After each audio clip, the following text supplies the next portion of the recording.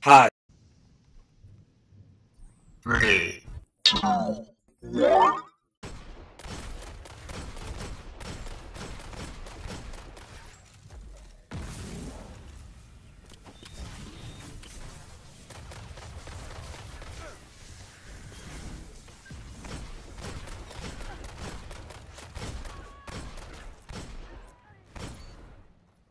You're a fucking idiot.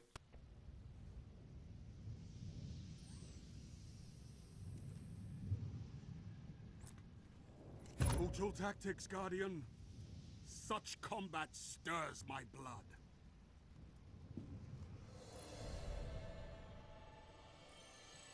Hello everybody, welcome back to another Destiny video. In this Destiny video, I'll be showing you guys how to do an awesome, instantaneous, unlimited invisibility glitch. Now, it doesn't last forever, but you can keep getting invisible instantly as many times as you want.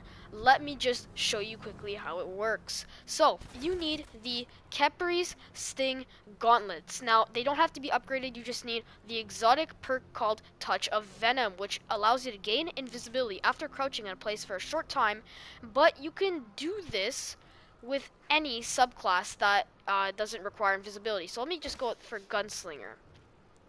Now, let me just equip these gauntlets and go invisible.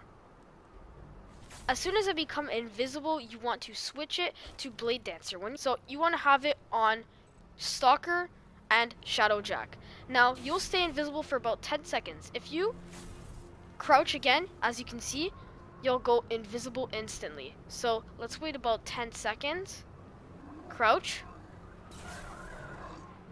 I gain it back instantly. Now I'm going to quickly run through this story mission as fast as I can while being invisible. Zavala, So it's gonna look at this. evacuating with extreme I can. This is gonna be very torn up down useful in multiple things like raids when you're or nightfalls like when you're the last guardian standing. It's gonna be very very useful. So I'll see you guys at the end of the video.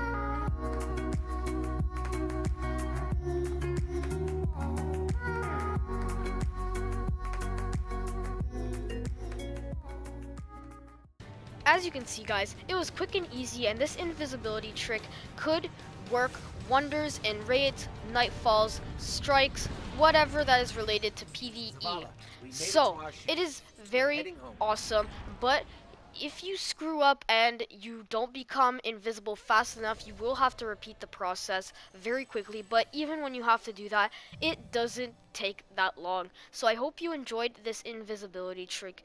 Please subscribe for more gameplay and content, and I hope to see you all in the next video.